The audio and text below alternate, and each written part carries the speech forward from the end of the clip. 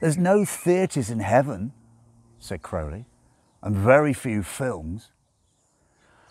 Don't you try to tempt me, said Aziraphale wretchedly. I know you, you old serpent.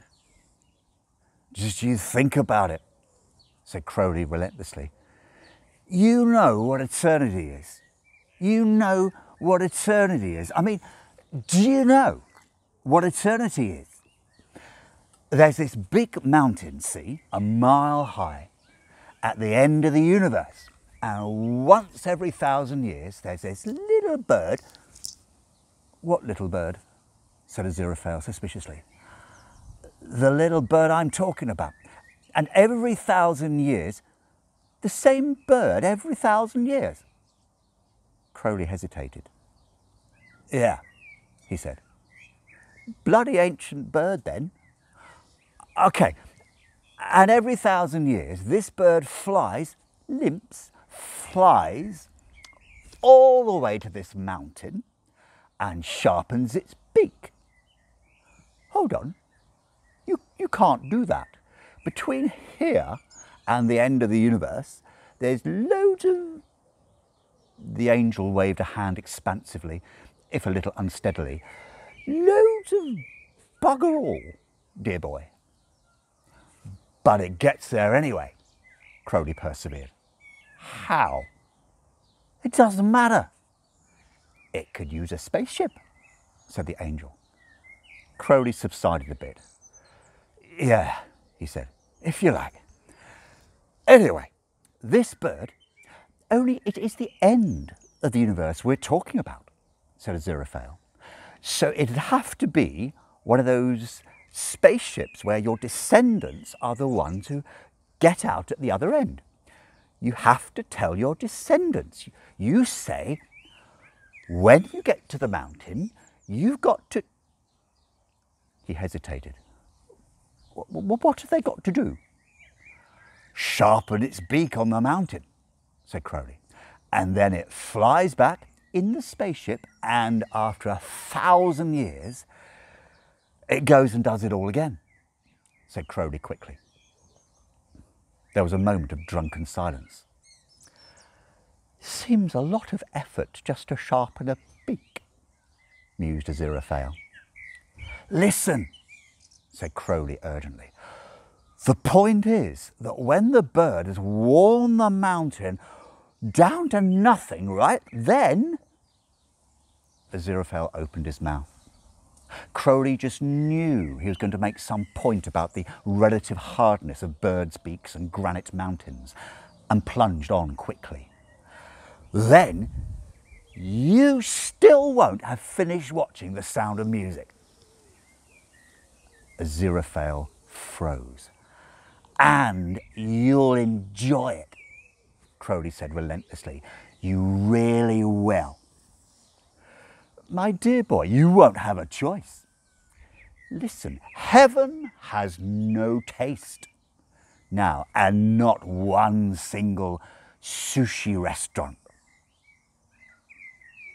A look of pain crossed the angel's suddenly very serious face. I can't cope with this while I'm drunk, he said. I'm going to sober up. Me too.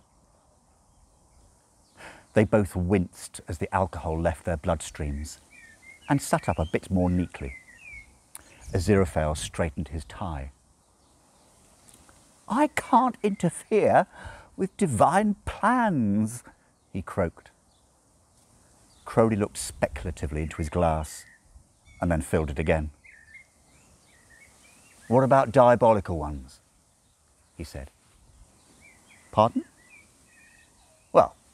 It's got to be a diabolical plan, hasn't it? We're doing it. My side. Ah, but it's all part of the overall divine plan, said Aziraphale. Your side can't do anything without it being part of the ineffable divine plan, he added, with a trace of smugness. You wish. No, that's the. Aziraphale snapped his finger irritably. The thing what do you call it in your colourful idiom? The, the line at the bottom. the bottom line? Yes, it's that. Well, if you're sure, said Crowley, no doubt about it. Crowley looked up slyly. Then you can't be certain, correct me if I'm wrong, you can't be certain that thwarting it isn't part of a divine plan too. I mean, you're supposed to thwart the wiles of the evil one at every turn, aren't you? Aziraphale hesitated. Uh, there is that, yes. You see a wile, you thwart. Am I right? Broadly, broadly. Actually, I do encourage humans to do the actual thwarting because of ineffability, you understand. Right, right. So all you've got to do is thwart. Because if I know anything, said Crowley urgently, it's that the birth is just the start. It's the upbringing that's important. It's the influences. Otherwise, the child will never learn to use its powers. He hesitated. At least, not necessarily as intended. Certainly, our side wouldn't mind me thwarting you, said Aziraphale thoughtfully. They won't mind at all. Right. It'd be a real feather in your wing. Crowley gave the angel an encouraging smile. What will happen to the child if it doesn't get a satanic upbringing, though? said Aziraphale. Probably nothing. It'll never know. But genetics, oh, don't tell me from genetics. What have they got to do with it? said Crowley. Look at Satan, created as an angel, grows up to be the great adversary. Hey, if you're going to go on about genetics, you might as well say the kid will grow up to be an angel. After all, his father was really big in heaven in the old days.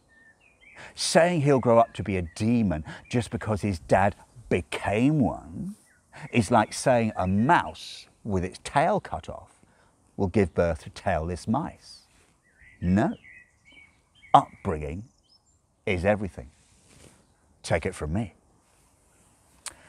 And without unopposed satanic influences, well, at worst, hell will have to start all over again. And the earth gets at least another 11 years.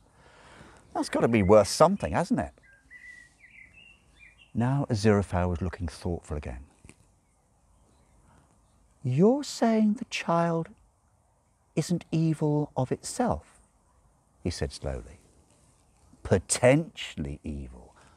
Potentially good too, I suppose. Just this huge, powerful potentiality waiting to be shaped, said Crowley. He shrugged. Anyway, why are we talking about this good and evil? They're just names for sides. We know that. I suppose it's got to be worth a try, said the angel. Crowley nodded encouragingly. Agreed, said the demon, holding out his hand. The angel shook it cautiously. It'll certainly be more interesting than saints, he said. And it'll be for the child's own good in the long run said Crowley, will be godfathers, sort of, overseeing his religious upbringing, you might say. Aziraphale beamed. You know, I'd never have thought of that, he said. Godfathers. Well, I'll be damned. Ah, it's not too bad, said Crowley. When you get used to it.